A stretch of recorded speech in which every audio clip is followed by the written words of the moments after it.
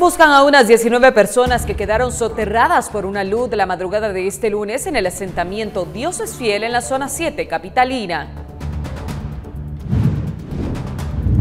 Villahermosa se inunda y persiste riesgo del colapso de casas situadas a la orilla de los ríos Pinula y Platanitos. Algunos vecinos han abandonado viviendas. ¿Qué responden las autoridades del secuestro con uniformes policiales y posterior crimen del hermano de un extraditable por narco hacia Estados Unidos? Otro médico reconoce su responsabilidad en quitarle un riñón sano a una mujer. Solo un tercer galeno enfrentará la condena que se podría dictar esta semana.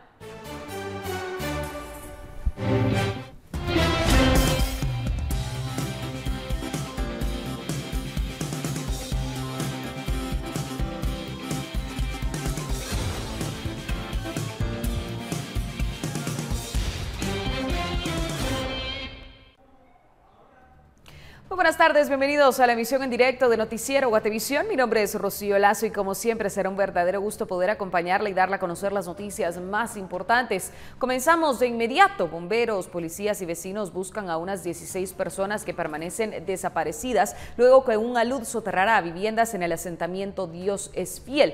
Los cuerpos de socorro han cubierto ya varios puntos, se habla de tres puntos aproximadamente y se cree que son 19 personas de las que permanecerían desaparecidas. Andrea Domínguez se encuentra en el lugar desde las 5.30 horas y a continuación nos detalla los detalles. Vamos contigo.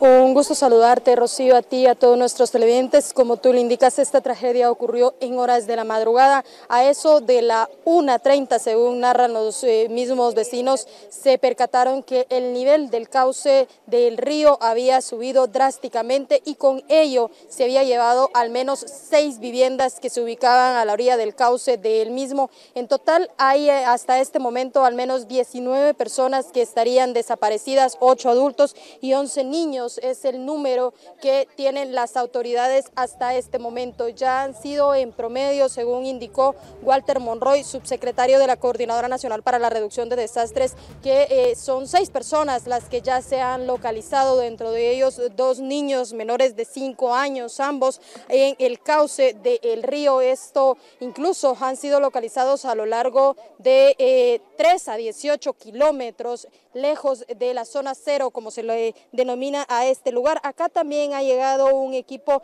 de K9 SAR Guatemala, que son profesionales voluntarios que tienen eh, perros entrenados en búsqueda y rescate de estructuras colapsadas o soterrados. Sergio Muñoz, quien se encuentra a cargo también y que tiene en sus manos a Cataleya, nos detalla, ustedes llegaron ya e incluso hemos visto cómo han estado trabajando. ¿Cómo ha sido esta labor? Eh, pues eh, en su momento pues nos llamaron temprano para poder apoyar en, esa labor. Compañeros ingresaron eh, al principio. Catalea fue el segundo perro ejemplar que entró.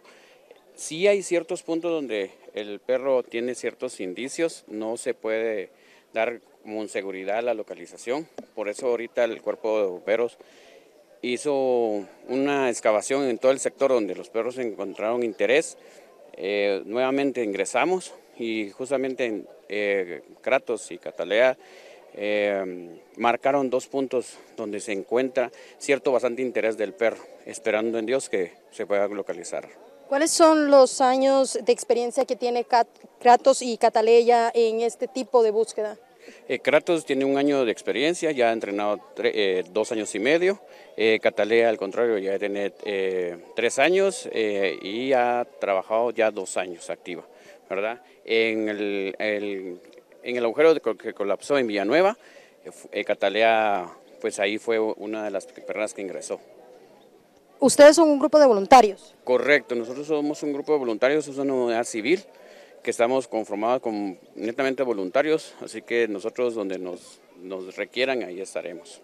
Muchísimas gracias, muy amable Sergio Muñoz del grupo de K9 SAR Guatemala, quienes han llegado hasta este lugar con dos de eh, sus perros entrenados en búsqueda y rescate. También se encuentran eh, elementos de la Policía Nacional Civil, de bomberos municipales, de bomberos eh, voluntarios municipales departamentales que se encuentran realizando esta búsqueda. Y acá también ya hay familia que ha llegado de las personas que se encuentran aún desaparecidas y que eh, estiman o, también eh, están tratando de obtener una respuesta. Eh, ¿Cuántos familiares tenía usted viviendo acá? Cinco. ¿Ya han localizado alguno? Solo la nena de cuatro años. ¿Cómo se llamaba ella? Nairobi Abad. Esta búsqueda, ¿a qué horas a ustedes les reportan que la casa de, de su hermana había desaparecido? De mi hermano y de mi mamá a las dos de la mañana. ¿Quiénes estaban adentro? En la casa de mi mamá solo ella y en la casa de mi hermano su familia. Eran cuatro los que estaban en la casa de mi hermano. Ustedes llegan acá, eh, usted misma nos decía antes, eh, el hecho de que los puedan localizar, que los puedan encontrar. Sí, de que, como le decía yo, de no perdemos la fe en encontrarlos con vida, pero yo creo que eso sería algo que solo Dios sabe, ¿verdad? porque si ya encontraron a la nena, pues me imagino que tienen que encontrar a, mis, a, mi, a mi demás familia. ¿Su mamá cuántos años tenía? Mi mamá tenía 39, 42, 43. ¿Cómo se llamaba ella? Mi mamá se llamaba Nancy Susana Abad. ¿Y su hermano? Se llamaba Ángel Alberto Abad, de 22 años. ¿Y su cuñada, sus demás sobrinos? Ella solo sé que se llama eh, Roxana y como unos 23, 24 años tenía. El nenito solo lo conocía como Benjamín y un año tenía y mis sobrinas se llamaban eh, Nairobi y Samar de cuatro años. Usted eh, ha visto la labor en la que han estado trabajando los cuerpos de socorro. ¿En dónde más o menos se ubicaba la casa de su hermano y de su mamá? La casa de mi hermano quedaba cuatro casas de mi mamá y la de mi mamá era la penúltima de esa fila. ¿Qué llamado le haría usted a, a, los socorristas? Porque ellos están haciendo una labor incansable en esta búsqueda. De que sea, yo les agradezco, ¿verdad? Pero también de que sean conscientes las autoridades de que para poderlo reconocer no nos pongan tanto pero, porque no, con la nena no nos dejaron de, de, reconocerla, sino que un muchacho, él hizo favor de poderla, de me mandó la foto y así fue como yo la reconocí, sabía que era la nena. Ahora acá no me han, ni han querido que entremos para ver si hay los cadáveres, si son mis familias o demás familiares. Nos tienen así que no, no quieren que entremos a ver. Ese, ese llamado para, para que les permitan y que los trámites no sean largos, porque en, en efecto usted señala que eh, eh, la burocracia de poder luego tener eh, o que les den acceso a estos reconocimientos suele ser mucho más largo, e incluso la solicitud de DPIs, el hecho de que les pidan documentos. Vemos que literalmente las casas fueron arrasadas por el agua. ¿Tendrían ustedes como familia algún documento? Eh, no, pero los mandamos a sacar, pero como vuelvo y le repito, ojalá, ojalá las cosas las den rápido y no nos hagan de que nos, de que como no está la persona no la pueden dar. ¿Tienen ustedes como familia algún lugar a donde se les pueda contactar eh, para poderles brindar ayuda económica o incluso el, el poderles apoyar? 36 56 86 06. Ese es el nombre. ¿A nombre de quién? De Cindy Abad. Muchas gracias Cindy, mucha fuerza y nuestro pésame para ustedes como familia.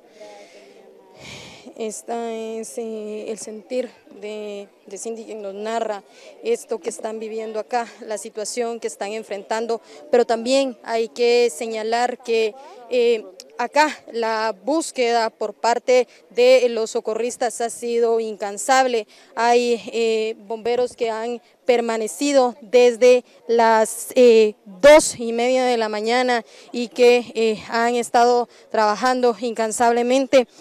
¿A qué hora llegan ustedes a este punto? Eh, exactamente como a las 2.35 de la mañana. Buen provecho. ¿Cómo ha sido? Porque vemos que ustedes cuatro han estado, bueno, cinco han estado, ¿verdad? Desde estas primeras horas que reciben. ¿Qué, qué logran ver ustedes cuando llegan acá? Bueno, lo primero que nosotros logramos ver es un panorama bastante complicado, ya que en esa hora todavía el río estaba crecido. Era un poquito difícil el acceso para empezar la búsqueda y rescate eh, de río abajo. Eh, la iluminación fue uno de los factores, pero afortunadamente contamos con el equipo especializado, contamos con la iluminación, la torre de iluminación que pusimos desde arriba del puente, eso nos ayudó a, comenzar a planificar la labor de rescate y, y recuperación. ¿verdad? Estamos casi 60 metros abajo del puente El Naranjo, en la zona 7 de la ciudad de Guatemala, que divide también la zona 4 de Misco. ¿Cómo fue este descenso o qué les indican en un primer momento al llegar? Porque ustedes tienen incluso eh, cuántas viviendas, cuántas personas. Sí, la primera información que recibimos fue que habían unas eh, casas que lamentablemente habían sido arrastradas por una correntada de agua. Cuando nosotros llegamos al lugar, pues eh, hacemos la evaluación donde hablamos con las eh, personas del, lugar, donde preliminarmente pues eh, tenemos la información que son 11 niños los que se encuentran desaparecidos con 8 adultos. Esa es la información que hasta el momento seguimos manejando, que no, no hemos podido actualizar porque los vecinos, eh, hay, algunos indican que no estaban dentro de la vivienda, otros indican que sí, pero esa es la información que tenemos hasta el momento. Raúl, esta labor que ustedes realizan desde bomberos municipales, ¿Cómo se sienten a esta hora? Porque eh, primero buen provecho, ¿verdad? Hemos visto que han estado eh, trabajando incansablemente, vemos cómo tienen las manos, el traje, ya, ¿cómo ha sido esto? Eh, pues hasta el momento es, ya ha sido agotador, pero todavía seguimos con la abnegación que a nosotros como bomberos nos, nos califica y para poder seguir trabajando hasta el último momento. Lo importante aquí es recuperar a las, a las víctimas, que hasta ahí ya que hemos salido todos los bomberos del área de impacto y hemos logrado nuestro objetivo, que es recuperar a las víctimas, hasta ahí termina nuestra labor en esto. ¿Tienen ya ustedes cuántos, eh, cuántos cuerpos han localizado ya algún número consolidado? Eh, pues lo que tenemos informado es que eh, tenemos alrededor de seis víctimas, las cuales ya han sido localizadas. Muchas gracias, Raúl Hernández, que es bombero municipal, que es de los primeros en llegar a este lugar, Rocío, junto a su equipo, que eh, lo componen Naomi Donado, eh, Karen González, Manuel Valenzuela, que son los que llegan acá y que han estado desde la madrugada. Desde que recibieron la alerta y la llamada de emergencia, han llegado hasta esta zona a realizar estas labores de búsqueda. Eh, sin embargo, también acá hay bomberos voluntarios y es eh, parte de lo que ellos eh, continúan realizando. Voy a hacer, antes de ir contigo, Rocío, solo para que nos puedan indicar tanto bomberos voluntarios ¿Cuántas eh, o cómo están divididos ustedes también a lo largo del río? Porque no solo están acá en la zona cero, sino que tienen a lo largo del caudal. Sí, así es, eh, son cuatro grupos en total. Uno de ellos está trabajando en la extracción de uno de los cuerpos que se localizó a seis kilómetros de la zona cero. Tenemos personal en la zona cero que está haciendo trabajos de manuales, asimismo en el puesto de mando otro grupo que entró por el puente caído de Chinaucla o Chinaucla Viejo como se conoce, y el cuarto grupo que entró eh, en el kilómetro 18. Byron, eh, eh, hasta este momento, ¿cuántas personas en total componen la búsqueda de rescate que se tiene a lo largo del cauce del río? Sí, eh, tenemos 74 elementos de bomberos voluntarios, miembros de la brigada, de ellos son 26 elementos de hombres ranas, asimismo eh, tenemos eh, especialidades diferentes que conforman cada grupo. Muchas gracias, muy amable. Byron Morales, portavoz de Bomberos Voluntarios, quienes tienen presencia acá en la zona cero, también han ya trasladado a eh, los perros especializados en poder realizar esta labor de búsqueda, mientras que a lo largo del cauce del río son casi más de 30 kilómetros los que llevan ya recorridos tratando de realizar la localización de estas 19 personas. Entonces habría que señalar ya, tal cual lo confirmó también el eh, subsecretario de la CONRED, seis cuerpos recuperados, todos sin vida lamentablemente, mientras en la parte baja de este lugar continúan realizándose las obras de descombramiento tras la alerta o los indicios que han lanzado los perros encargados de realizar esta labor eh, de búsqueda en estructuras colapsadas y donde se están enfocando también en este momento el tema de poder empezar a excavar y tratar de eh, localizar a alguien con vida. ¿Por qué no se hace en el resto del lugar, por ejemplo, donde nos encontramos parados en este momento? Es porque acá el río literalmente lavó todo. Según la Conred, esto se derivó de que eh, río arriba se produjo una especie de deslave que generó un dique y con la presión del agua esto comenzó a formar una presa. Sin embargo, en algún momento se rompe y alcanza una altura de aproximadamente 12 metros que se puede ver la huella del agua y la fuerza con la que venía, que pasó literalmente arrasando con todo a su paso. Muestra de ello son esta estructura en la que nos encontramos. Por ejemplo, acá se puede ver que había en algún momento algún paral de la vivienda, humildes viviendas que eran de lámina, pero que las arrancó desde el cimiento. El enfocarse abajo en la búsqueda se debe a que en ese lugar es el único en el cual se pueden observar algunas láminas, algunos parales, así como eh, pertenencias, las únicas que se pueden observar en todo esto que están en la parte baja y es donde se señala que allí eh, primero ocurrió un deslave junto con la fuerza del agua y que están enfocándose en estas labores. Eh, Rocío, este es parte del panorama que en este momento se vive acá, desde el fondo del barranco de, sobre el puente El Naranjo, que comunica a la zona 4 de Misco con la zona 7 de la ciudad de Guatemala en el asentamiento en el que nos encontramos, que ahora se encuentra de luto y que está también teniendo a diversas familias, no solo con el clamor de que la búsqueda continúe, sino también con la fe de poder localizar a algunos de sus familiares con vida, incluso una estudiante universitaria de 23 años que estaba viviendo sola y que sus cuatro hermanos han llegado a este lugar, los veíamos en horas de la madrugada con piocha, con palo en mano, también sumándose a tratar de eh, eh, en la parte donde los caninos han realizado eh, las señales de que pueden tener indicios de que ahí pudiesen estar algunas personas. Esto es parte, Rocío, de lo que acá se vive. Andrea, muchísimas gracias. Quisiéramos saber si ya se había realizado algún tipo de advertencia o si la Conred había dado a conocer si estas laderas eran inhabitables. Rocío, le hemos hecho la misma consulta al subsecretario de la Coordinadora Nacional para la Reducción de Desastres y lo que él ha señalado es que en este lugar eh, se, se, tienen evaluaciones, pero de años atrás, y que él recuerda que las áreas que se encuentran aledañas a ríos suelen ser ya de por sí de alto riesgo o vulnerables, mientras que la Municipalidad de Guatemala ha indicado a través del el encargado de eh, la municipalidad auxiliar en este lugar que eh, ellos ya en 2014 habían realizado una alerta eh, sobre la zona y que esta presentaba vulnerabilidad. pero es la única alerta que ellos tenían sobre esta zona. Ahora incluso hay que señalar que se está habilitando también un albergue en el que se prevé que al menos 60 personas puedan, eh, puedan quedarse o albergarse esta noche. Usted está acá también esperando información de su hermana, su hermana de 23 años. Así es.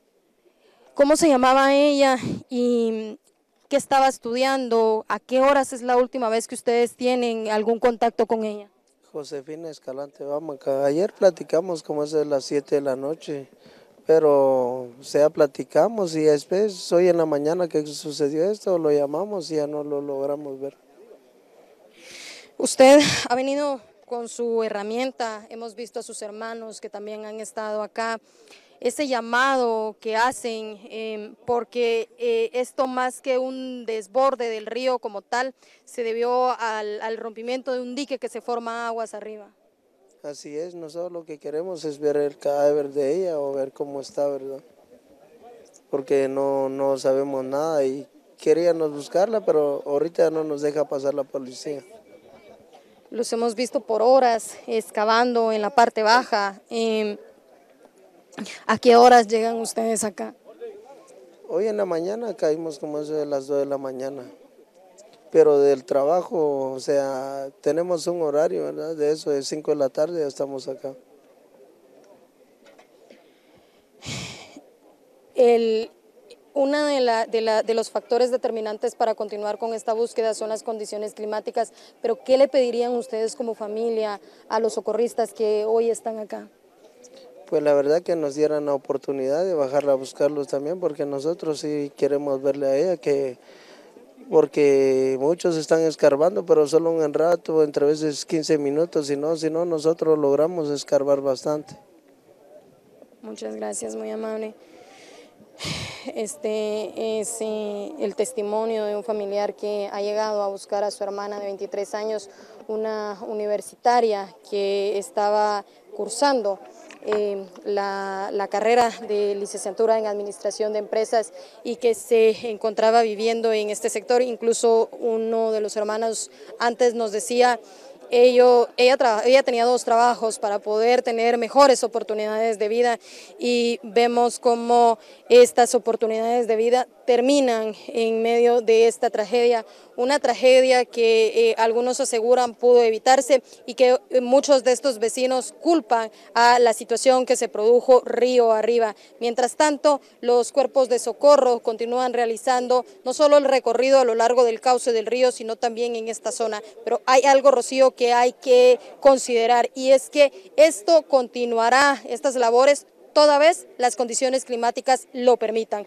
porque una vez empieza a llover no solo sobre el sector, sino sobre otros municipios que alimentan el caudal de este río, se estaría paralizando la búsqueda, ya que hay que salvaguardar también la vida de al menos 150 socorristas que se encuentran dentro de los que lo integran bomberos municipales, municipales departamentales, voluntarios, la Policía Nacional Civil, el Ejército, que han llegado hasta este lugar. Son al menos ocho instituciones las que participan en la búsqueda de estas 19 personas desaparecidas, seis que ya han sido localizadas y una pequeña de cuatro años que ya ha sido identificada. Esta es la tragedia Yeah. Que se vive desde la zona cero en la zona 7 de la ciudad de Guatemala con esta información y con imágenes de María José Bonilla. Yo retorno a los estudios centrales, recordándole que más adelante les estaremos llevando también más detalles de esta tragedia que vuelve a enlutar a decenas de familias, pero también expone la vulnerabilidad que se vive en el país, considerando que hay más de 250 asentamientos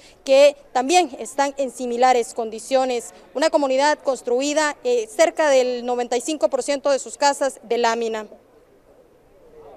Andrea, muchísimas gracias por tu reporte. Estaremos al tanto de la información que tengas para nosotros. No solo esta área se ha visto afectada por las lluvias. Al volver de la pausa nos vamos a Villahermosa, en San Miguel Petapa.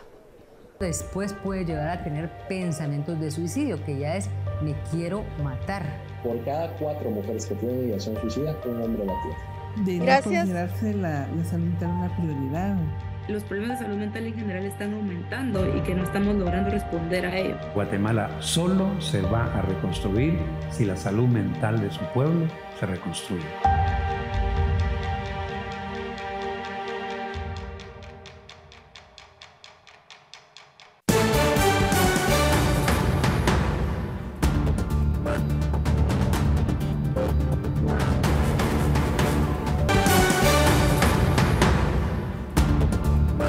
Muchísimas gracias por seguir con nosotros en la emisión en directo de Noticiero Guatevisión. Ya le comentaba hace tan solo minutos que nos iríamos a la colonia Villahermosa en San Miguel Petapa. En ese lugar persisten las lluvias y varias viviendas corren el riesgo de derrumbarse. Entre inundaciones y la crecida del cauce del río Pinula, los vecinos pierden la esperanza de recuperar su hogar. Algunos incluso han decidido abandonar desde ya su vivienda. Vamos en este momento con Leslie para que nos cuente los detalles. Leslie, ¿cómo estás? Buena semana.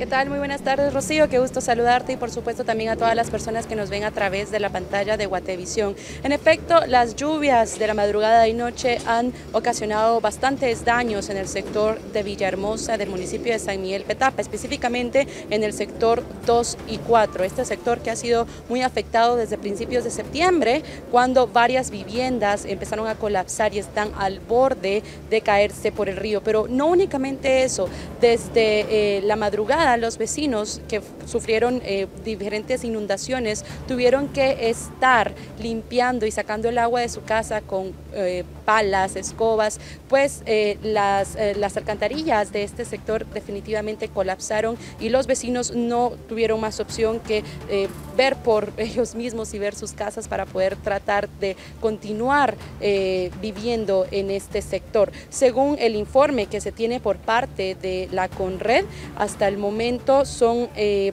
varias, eh, varios sectores de San Miguel Petapa los que fueron afectados por inundaciones de esta mañana. En Prados de Villahermosa se reportan 16 personas damnificadas, de las que 9 fueron evacuadas, y también en la colonia Santa Inés son 18 damnificados. Asimismo, en el sector de Entre Ríos de, Entre Ríos de Villacanales, se reportaron que fueron 74 personas las evacuadas. No obstante, como, lo mencionaba, no únicamente fueron las inundaciones las que afectaron este sector, sino también eh, las casas están ya al borde del colapso. Vamos a nosotros, eh, como ustedes lo pueden ver en, la pantalla, pues nosotros tuvimos la posibilidad de poder documentar cómo las casas están por caer y en, este caso una de las personas que ha sido muy damnificada es la señora Ángela Pérez. Ella amablemente ha indicado que nos va a hablar sobre cómo, cómo es que está esta situación debido a que su casa está valorada en aproximadamente 250 mil quetzales y prácticamente desde el 2010 esta casa había sido construida. Es esta casa que ustedes pueden ver en este momento y que seguramente en las pantallas ustedes pueden ver también cómo se está desbordando. Vamos a entrar, así como ella ya nos había indicado que tendríamos el permiso. Doña Ángela, muy buenos, muy buenos días, gracias. Si nos permitiera poder pasar para ver cuál es el estado de su casa. Gracias. Y ustedes pueden ver, pues la casa se encontraba eh, muy bien construida, pintada, todo muy bien, pero la situación del de, eh, desborde del río Pinula y las constantes lluvias han provocado que prácticamente ya todo esté por colapsar. Aquí en las paredes nosotros podemos ver cómo estas están rajadas y ustedes pueden ver es, exactamente toda la inversión que prácticamente se está yendo al río, prácticamente se está tirando a la basura.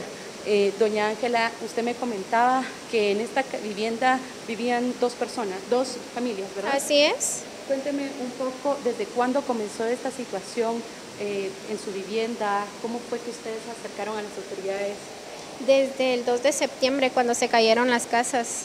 Desde las primeras casas se le dijo al alcalde, incluso y fuimos a hacer manifestación para que él nos hiciera caso y que hiciera las cosas. Lo único que él hizo fue colocar piedras que nunca funcionaron porque él lo tenía que haber eh, colocado cemento y se le dijo que colocara cemento para que eso no sucediera y él no nos hizo caso, no omitió lo que nosotros le dijimos. Usted me comentaba que su casa fue construida en el 2010. Así es. Cuando ustedes construyeron su casa, tuvieron el permiso de la municipalidad, se les indicó que era una zona de alto riesgo. En ningún momento nos dijeron nada, ellos nos dieron la licencia para la construcción. Y específicamente en ese, en ese sentido, cuando ustedes estuvieron construyendo, ¿en algún momento se tenía o ustedes notaron la, percepción o la alerta de que podría haber algún derrumbe? ¿Se miraba algo de esa magnitud? No, para nada. Se miraba así tranquilo, no había nada. Ahora, cuénteme un poco sobre lo que usted me mencionaba. Nosotros pudimos ver y documentar cómo su casa se estaba prácticamente desmoronando. ¿Qué siente al respecto? Es muy triste, es muy... No, o sea, no puedo expresarme porque la verdad es muy triste ver cómo se está cayendo a pedazos, algo que se construyó con tanto cariño, con tanto amor, tantos desvelos, trabajo de domingo a domingo. Es muy triste. A partir de este momento, cuando su casa comenzó a desmoronarse, eh, ¿qué hicieron ustedes como familia? Empezamos a sacar las cosas que teníamos, porque todavía teníamos algunas cosas acá, empezamos a sacarlos para evitar que se fuera todo, ¿verdad? ¿Y que ahora, en este momento, dónde están ustedes ubicados? Nosotros estamos en el sector 1 alquilando las dos familias. Como le había comentado, pues 2.500 nos cobra una casita que solo cuenta con cuatro cuartos. En un cuarto estamos cinco personas y en otro cuatro cinco personas también. Entonces es bien difícil, es bien difícil. ¿Y qué le ¿qué le pediría usted a las autoridades? Entonces, eh, pues nosotros estamos documentando cómo su casa se fue desmoronando. Eh, yo quiero comentarle también a la audiencia de Guatevisión que justamente esta casa es la que se encuentra flotando. Justamente esta casa es la que ha estado eh, botando pedazos de tierra y es muy probable que tal vez entre hoy o más tarde tal vez se termine de desmoronar. Nosotros aquí estamos en una zona un poco riesgosa. Vamos a tratar de eh, salir también para poder documentar cómo está la otra, las otras áreas del sector 2 y 4 de Villahermosa en el municipio de San Miguel Petapa. Doña Ángela, usted también cuénteme un poco. Nosotros vimos que eh, había maquinaria y habían person eh, bueno, personal de la, de la municipalidad de Petapa que estaban trayendo piedras.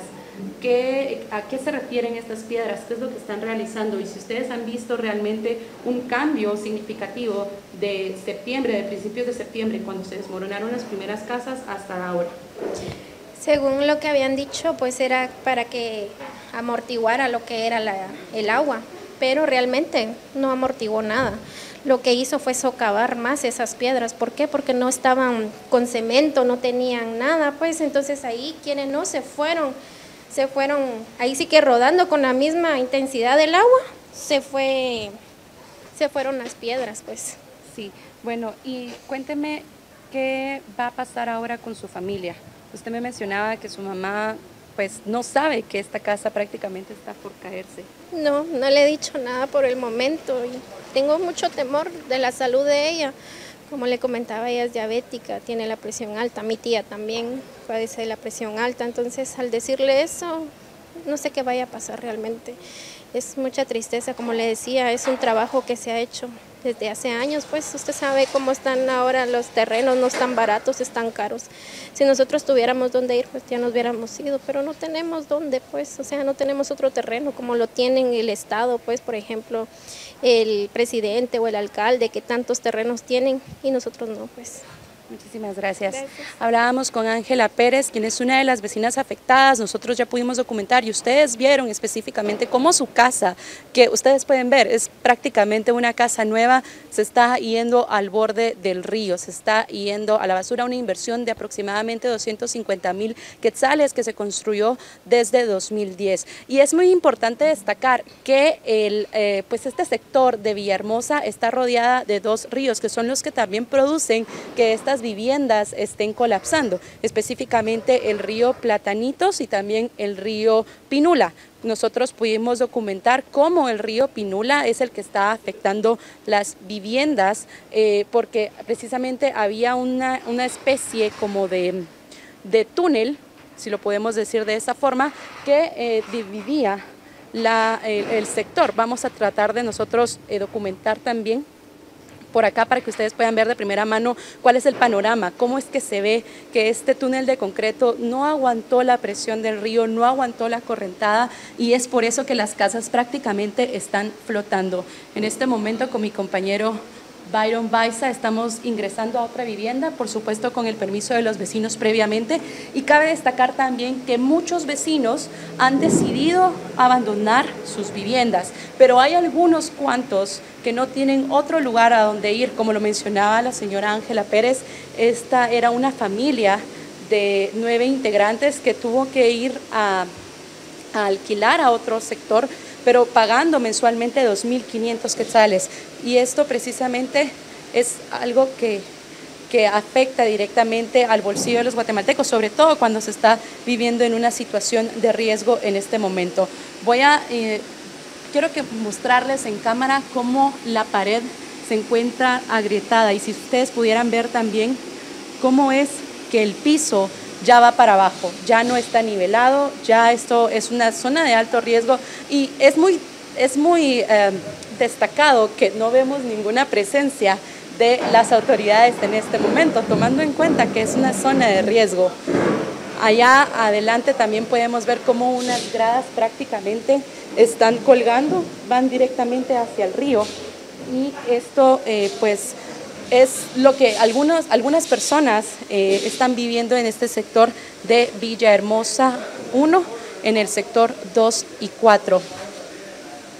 Este es el reporte. Vamos a intentar salir también para que ustedes puedan tener otra, otra percepción prácticamente las personas están viviendo a la orilla de la avenida, pero son unos cuantos, cuantos metros los que dividen el abismo de la calle principal, en donde todavía se tiene presencia de carros, de camiones que están pasando también, y no vemos ninguna autoridad presente, no vemos ningún, eh, ningún, ningún pues de alguna forma... Eh, área de, que esté como, como condicionada o como que esté localizada como alto riesgo y vemos que las personas realmente están en riesgo, están llegando a la orilla y pues siguen sacando sus pertenencias para poder eh, pues recuperar algo de lo que ya se perdió, recuperar algo de lo que ya se cayó al río Pinula específicamente.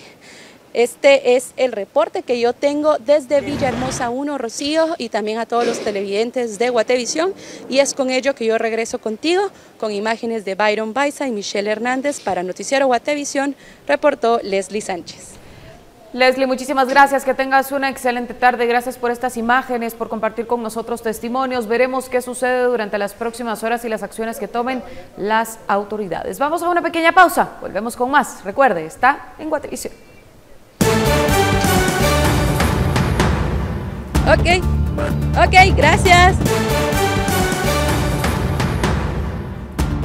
40 minutos pasan de la una de la tarde. Un nuevo socavón se registra ahora en la carretera que conecta Chichicastenango con Santa Cruz del Quiché, específicamente en el kilómetro 156.5. La cuneta ha colapsado y se ha llevado el muro que sostenía la vía. El mismo amenaza con destruir la ruta. Víctor Cordero, nuestro corresponsal en Quiché, nos amplía la información. Vamos contigo. ¿Qué tienes para nosotros hoy?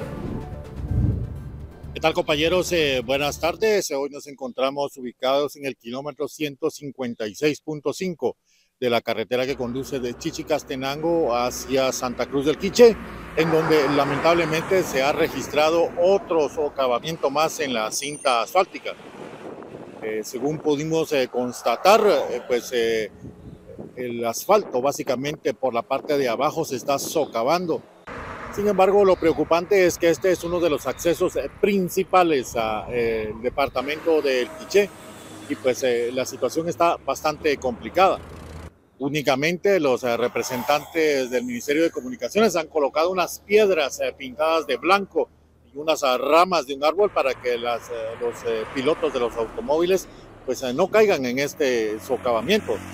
Pues Covial ya en, en ellos quedará en este momento eh, en cuánto tiempo se puedan hacer eh, o le puedan poner la atención o la gestión correspondiente, ya que la parte administrativa que nos correspondía a nosotros aquí en Quiché, eh, específicamente como gobernación y con el apoyo que también le pedimos al señor alcalde de Chichicastenango, pues se pueda agilizar el proceso para poder darle atención a ese, a ese socavamiento. Este socavamiento se une a otros dos más ubicados en la carretera que va de Santa Cruz del Quiché hacia Quetzaltenango por lo que básicamente los dos accesos al departamento están en riesgo.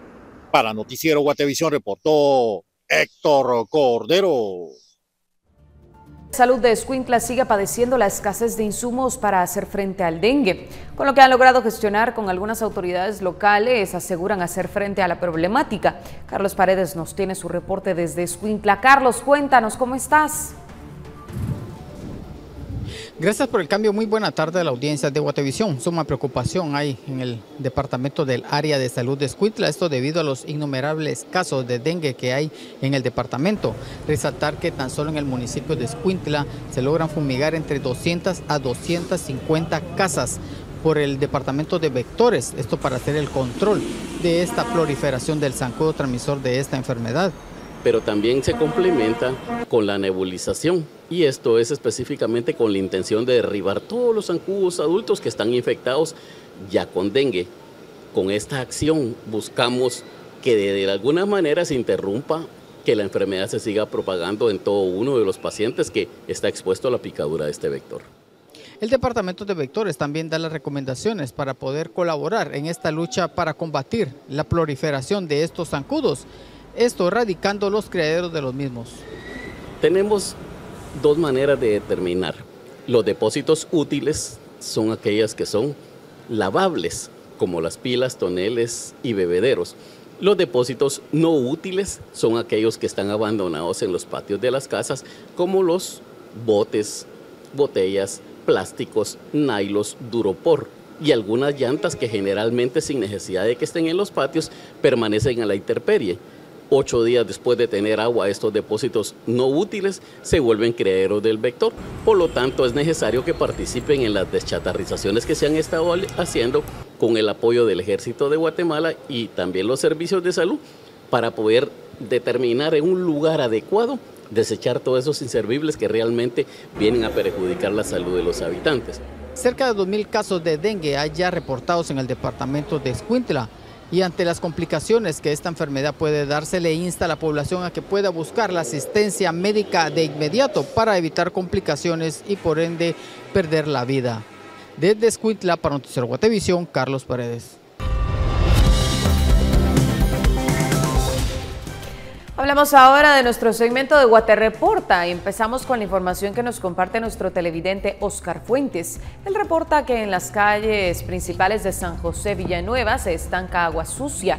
Esos depósitos han empezado a formar corrientes de aguas pluviales desde Bárcenas hasta las calles de San José. Nuestro televidente hace un llamado a las autoridades para que tomen cartas en el asunto, ya que asegura provoca el deterioro inminente de las calles, además de contaminación. Seguimos hablando sobre el deterioro de calles, pero esta vez nos trasladamos a la aldea El Barro en Conguaco, en Jutiapa. El televidente Juan Ramírez nos cuenta que las fuertes lluvias en la aldea han generado destrozos en la carretera que lleva 15 años sin mantenimiento por las autoridades. Pide que realicen este mantenimiento a la ruta, ya que solo son 3 kilómetros y a pesar de que es un tramo corto, afecta a todas las personas que transitan en el área. El Acuerdo Gubernativo 164-2021, que establece el reglamento para la gestión integral de residuos y desechos sólidos comunes, fue modificado este 9 de agosto. Ahora ya no será obligatoria la clasificación secundaria, sino que solo deben separar su basura en desechos orgánicos e inorgánicos. Sin embargo, ya hay empresas en Guatemala que están poniendo en marcha acciones para cuidar el medio ambiente y reciclar. Paula Osaeta nos cuenta un poco más. Paula, ¿cómo estás? Sí, Rocío, qué gusto saludarte. Como tú lo mencionaste, hay muchas empresas del sector de alimentos y bebidas en el país que desde hace varios meses han intensificado los procesos de reciclaje y soluciones integrales para el cuidado del medio ambiente. Hay un amplio portafolio de soluciones en áreas como procesamiento, envasado, sostenibilidad, automatización y digitalización y servicios técnicos. Nosotros empezamos con la materia prima que conforma nuestro envase hemos innovado a lo largo de todos estos años y tenemos materias primas certificadas y sostenibles, ¿verdad? Además, también cuando nosotros fabricamos en nuestras propias plantas, lo hacemos de manera ambientalmente amigable y sostenible con todas las certificaciones. Tenemos este amplio portafolio que ayuda a nuestros clientes a que ellos también sean más sostenibles y eficientes en su propia producción. En la región, la mayoría de las empresas cuentan con proyectos de post-consumo donde los empaques o envases ya utilizados pueden entrar a la cadena de recolección y reciclaje para reutilización. Y muchos tienen iniciativas que trabajan con municipalidades y con los consumidores, quienes son los que generan los residuos para agilizar la cadena. Una de estas iniciativas se llama Tu papel cuenta. Este proyecto lo que busca es eh, brindar toda esta información al consumidor, quien genera el material, y también nos permite crear esas alianzas con las empresas que se dedican a la recuperación de los materiales reciclables, la clasificación, que están en la, en la industria de la recolección, clasificación y reciclaje para poder hacer estas conexiones, ¿verdad? Eh, de la conexión de quien genera el material, que sepa que está generando, dónde lo puede depositar, qué opciones existen para poder yo introducir los materiales reciclables que genero dentro de la infraestructura existente y también pues brindar eh, planes de incentivos y, y, apoyo a toda la infraestructura de recolección y selección para que el material pueda ser captado, acopiado y posteriormente vendido a una planta de reciclaje. La necesidad de producir y consumir alimentos de forma más responsable continuará con grandes retos y nuevos desafíos en los próximos años. Y para las empresas, esos desafíos que están por venir solo se pueden abordar a través de ecosistemas de innovación que permitan trabajar en asociación para descubrir las soluciones que marcarán el camino hacia un futuro sostenible para la industria. Con esto regreso al estudio. Buenas tardes. Buenas tardes. Para ti también, Paula. Nos trasladamos ahora a Huehuetenango, donde estudiantes de la Universidad de San Carlos preparan una doble jornada académica que busca mejorar el servicio que los alumnos prestan en el bufete popular. Este evento está dirigido a estudiantes de todas las universidades. Mike Castillo nos tiene los detalles. Buenas tardes, Mike.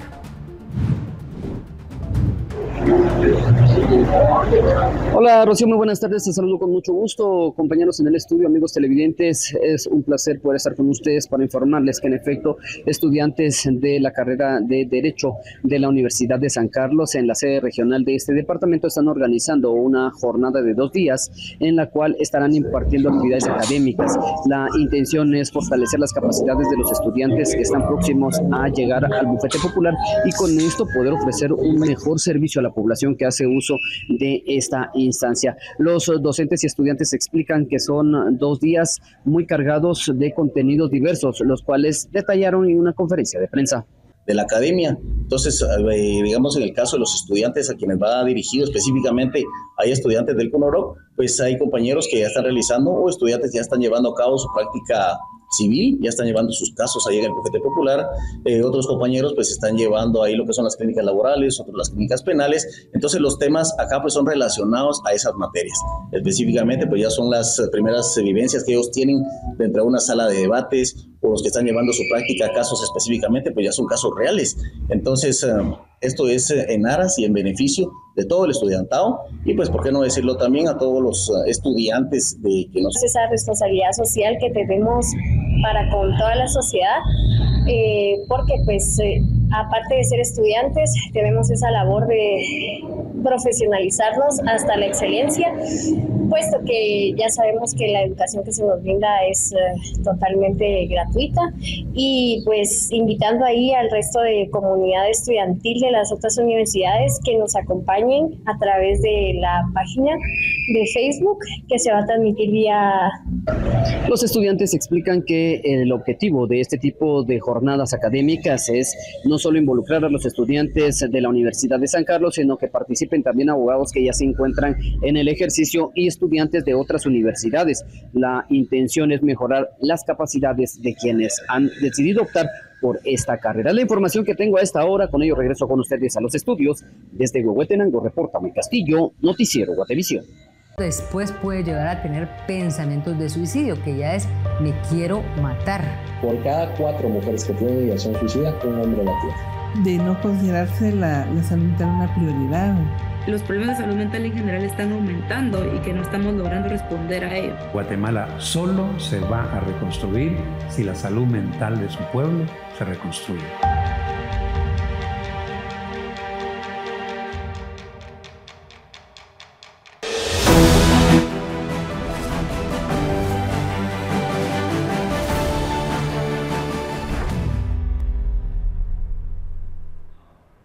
Estamos de vuelta con las noticias. Para esta tarde está previsto que el equipo de transición del gobierno electo presente a la Comisión de Finanzas del Congreso el planteamiento para un incremento de 3 mil millones más al proyecto de presupuesto que se analiza actualmente en la sala legislativa. Henry Montenegro desde el Congreso con los detalles. Henry, ¿cómo estás? Cuéntanos de qué se trata.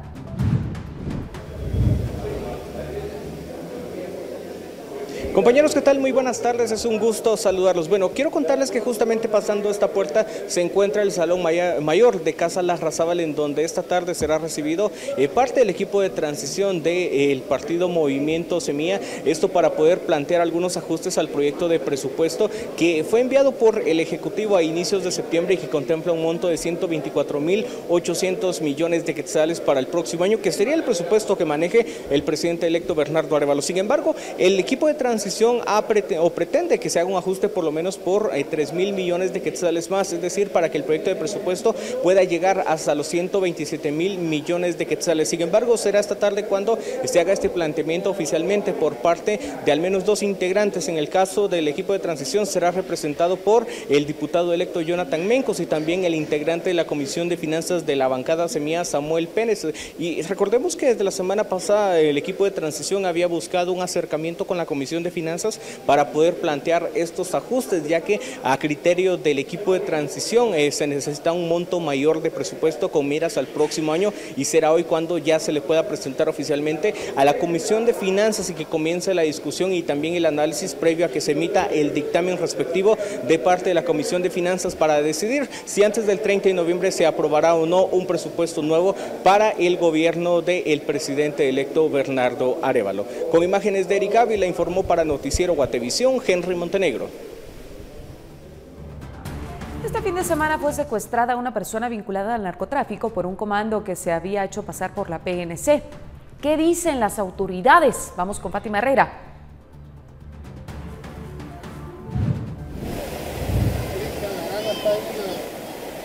¿Qué tal Rocío y audiencia de Noticiero Guatevisión? Qué gusto poder seguir acompañándolos en la emisión en directo. En esta ocasión estamos frente al Ministerio de Gobernación en seguimiento al caso de Luis Alberto Chacón Alvarado, alias Huicho Veneno, una persona vinculada con el narcotráfico. Este sábado Huicho Veneno fue secuestrado por un grupo de personas armadas que portaban pasamontañas que se hicieron presuntamente pasar por elementos de la Policía Nacional Civil. El hecho ocurrió en los Amates y Zabal mientras Huicho Veneno compartía con su esposa e hijos. Huicho Veneno fue engrilletado y trasladado en pickups blancos. De inmediato su esposa eh, emprendió la búsqueda, interpuso una denuncia eh, y afirmó que no se trataba de un operativo de la Policía Nacional Civil, por lo que la PNC en conjunto con el ejército emprendió la búsqueda y el cuerpo fue hallado este domingo sobre la carretera en jurisdicción de los Amates, envuelto en una bolsa plástica. Esto fue lo que dijo Jorge Aguilar Chinchilla, vocero del Ministerio de Gobernación a través del Ministerio de Gobernación se da a conocer que estas personas que aparentan ser policías no son agentes de la Policía Nacional Civil. No tienen ninguna relación con las fuerzas de seguridad derivado de las características que se logran determinar en los uniformes, los cuales eh, no coinciden con eh, los de la Policía Nacional Civil, al igual que los vehículos, porque ese tipo de automotor o esa línea específica no tiene las fuerzas de seguridad para el servicio de los guatemaltecos. El mismo día domingo, eh, por la tarde, cuando es colocada esa denuncia, se localiza a esta persona fallecida sobre la cinta asfáltica en el kilómetro 186 de la jurisdicción de la aldea Fermín, siempre del sector de Los Amates y Zabal. La pregunta es entonces, ¿quiénes pudieron haber llevado a cabo esta operación y también cuál fue el objetivo? Esto es lo que dice el Ministerio de Gobernación al respecto. Bueno, hay un trabajo de investigación ahora por parte de la Subdirección General de Investigación Criminal y de la Subdirección General de Análisis de Información Antinarcótica que está, trabajando en conjunto con el Ministerio Público para determinar eh, las razones y qué persona o qué personas participaron en ese hecho criminal. Al final, esto es un hecho totalmente delictivo que cobra la vida de una persona aunque todavía no se conoce el análisis forense de manera preliminar, se sabe que Huicho Veneno tuvo impactos de bala, entonces queda eh, a cargo de las autoridades correspondientes las investigaciones del caso. Con imágenes de Esvin García para Noticiero Guatevisión reportó Fátima Herrera.